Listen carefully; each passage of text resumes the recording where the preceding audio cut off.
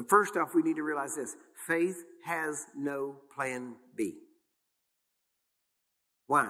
Because faith requires total commitment to whatever, whatever you're looking at, whatever the faith, whatever the vision that God has given you. And let me tell you, your vision should be first and foremost what is in the Bible about what Jesus has done for you and in you and wants to do through you. So, number one, your first vision actually should be to be conformed to the image of Christ. Now, that doesn't mean walking around in robe and sandals and that kind of thing. It means living his life. He said, if you're going to follow me, you got to take up my life. And he actually said, if you'll take up my higher life, then you'll first lay down your lower life. So he considers whatever we do other than his life a lower life. Well, what was his life? His life was given so that he could give it, not just in death, of course, that was the end of it, but he gave his whole life. He, his life was given to serving people. And he served them by, by literally meeting their needs, whatever that need was.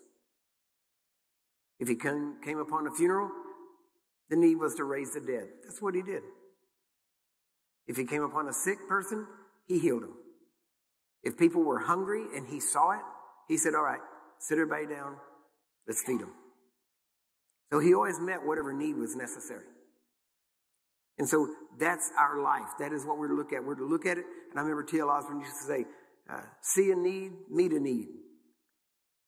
He said, to see a need is to be led.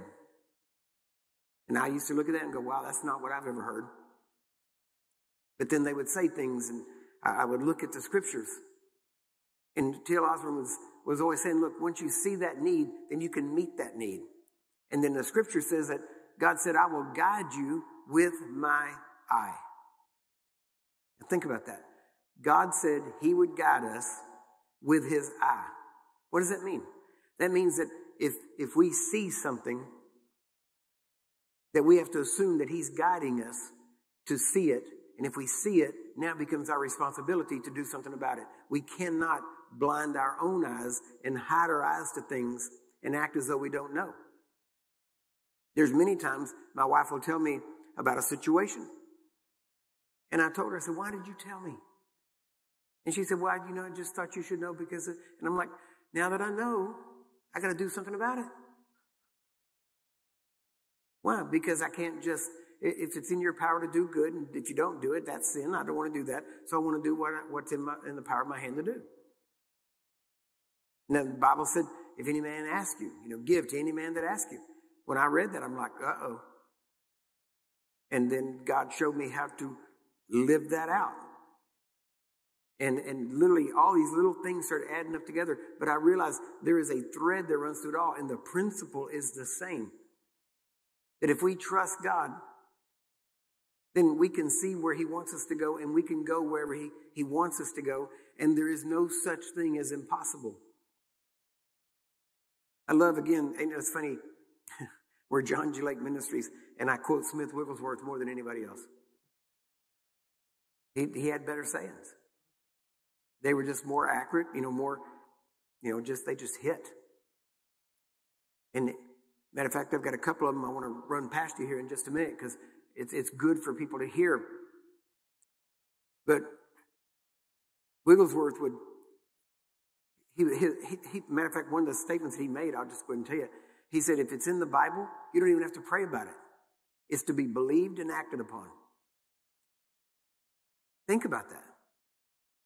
He said, it is an insult to God to ask for power once you have received the baptism of the Holy Spirit. It's an insult to God. Why? Because God said, you shall receive power. Dunamis. Miraculous ability. And actually, that word dunamis means more than just miraculous ability. It's just a that's just a simple way of saying it. But when it says, be strong in the Lord, be strong in the Lord and in the power of his might, that word there is, in, it's actually a long word. It's, it's dunamis with an addition, you know, a beginning, a prefix, and a suffix on it. And the word is in dunamuo. And it means to be empowered with a power. Now get this where everywhere else in secular society where that word was used, it meant the, the entire power and force of an invading army. That's the power you're supposed to be strong in.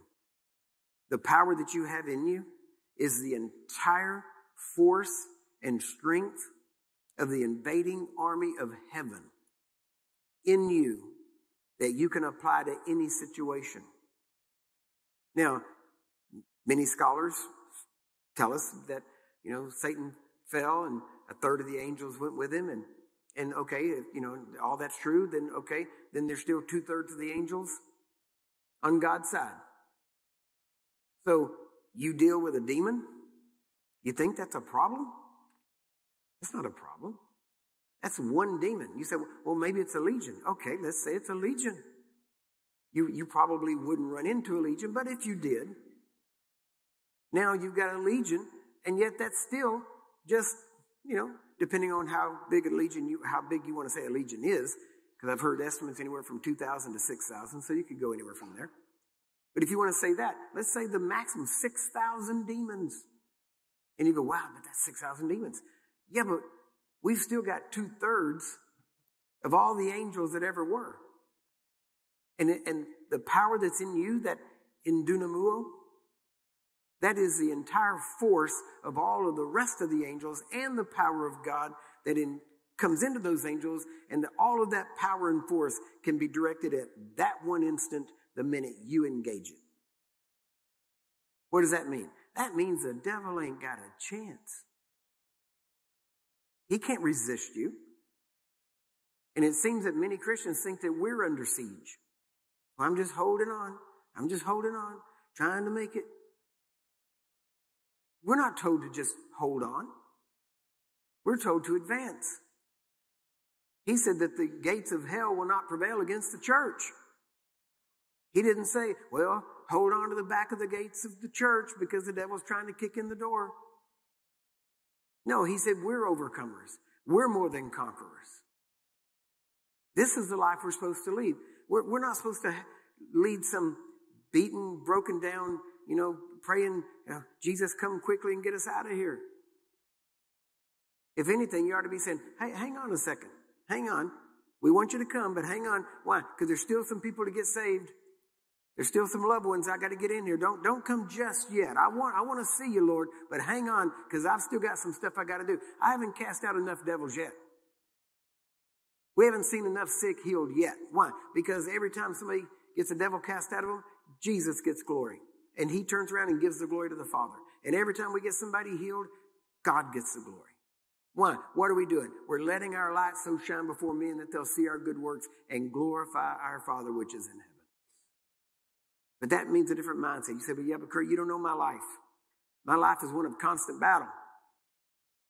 Well, your life is going to be one of constant battle. Why? Because you're supposed to be a good soldier of Jesus Christ. You didn't enlist into the Peace Corps. You enlisted into heaven's Marine Corps. That's your job here. To find what's wrong and fix it. And you can't do that with a defeated mentality. You can't do it with a, the idea that everything can hurt you. Jesus made it very clear. Nothing shall by any means hurt you. Why? He, because he's given you power to tread upon serpents and scorpions and over all the ability of the enemy. Do you get that? See, those aren't just words. Those are facts. Facts to be believed.